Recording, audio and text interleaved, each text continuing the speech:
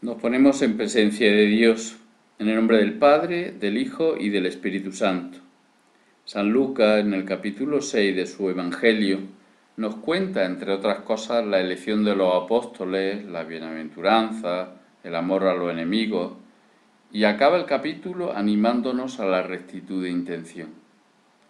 Es curioso cómo en todo ese transcurrir, transcurrir de nuestra vida, se podría decir, eh, el Señor acabe en esa rectitud del corazón.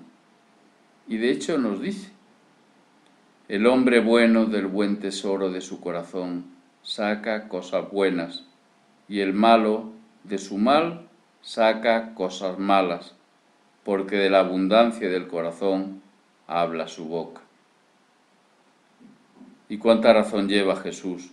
Dependiendo de cómo sea mi corazón, así soy yo, así me comporto, así actúo. ¿Por qué? Porque con el corazón amo, porque el corazón es el motor, porque el corazón es lo principal. El Talmud de Babilonia, un libro que resume la sabiduría de la ley judía, dice que hacia el lugar que amo, allí me conducen mis pies. Efectivamente Jesús. Mi vida está dirigida a lo que amo, a lo que es mejor, al bien, a lo bueno. Esto es lo que me hace feliz. ¿Y cuántas veces no me porto bien, sino que maltrato a los que están a mi alrededor y primero a ti? Perdóname Jesús. Y aunque el pecado ha puesto la ceniza en mi corazón, debo rectificar. Una forma puede ser que no solo me importe lo que hago, sino también lo que quiero cuando lo hago. Lo quiero y lo hago. Rezar es magnífico, pero mejor aún, como quiero a Jesús, rezo.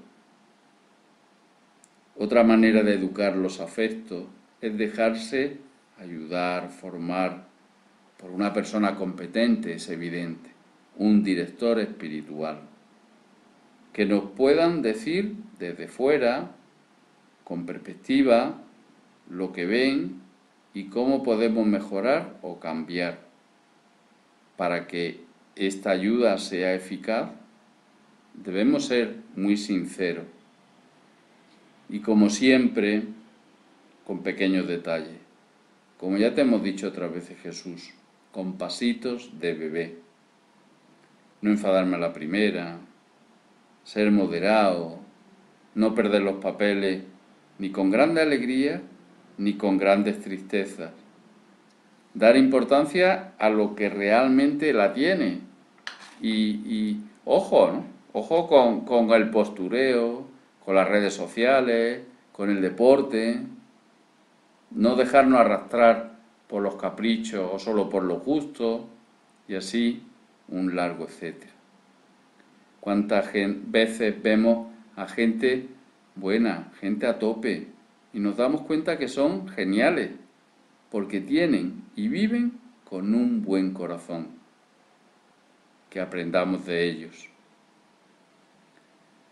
En una ocasión, la revista National Geographic publicó un artículo después de un incendio en un parque nacional de Estados Unidos, en Yellowstone. Los guardabosques subieron a una montaña para intentar ver toda la extensión del incendio y poder empezar a calcular los daños. Uno de estos encontró a un ave que literalmente estaba petrificada por la ceniza, quieta como una escultura en el suelo y cerca de un árbol. Impresionado por lo que estaba viendo, tumbó al ave con, un, con una rama y sobre la marcha tres pequeños polluelos salieron rápidamente de debajo de la sala de su madre muerta. Al darse cuenta del peligro inminente, instintivamente la madre había llevado a sus polluelos al pie del árbol y les había acurrucado con sus alas.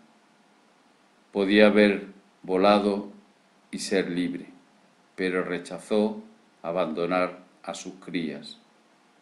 Cuando el calor del fuego quemó su pequeño cuerpo, ella permaneció firme, dispuesta a morir para que sus pollitos bajo sus alas pudieran vivir. Seguro que estos pajaritos, por el ejemplo de su madre, aprendieron a saber querer, a saber ser generoso, y lo hicieron realidad durante toda su vida. María, Madre mía, ayúdame para que mi corazón aprenda del tuyo y así quiera lo mejor para Jesús y los demás. Que yo sepa querer como tú quieres a los demás. Que yo sepa querer a tu Hijo como tú lo quieres que yo sepa querer a todos los que están a mi alrededor como tú los quieres. En el nombre del Padre, del Hijo y del Espíritu Santo. Amén.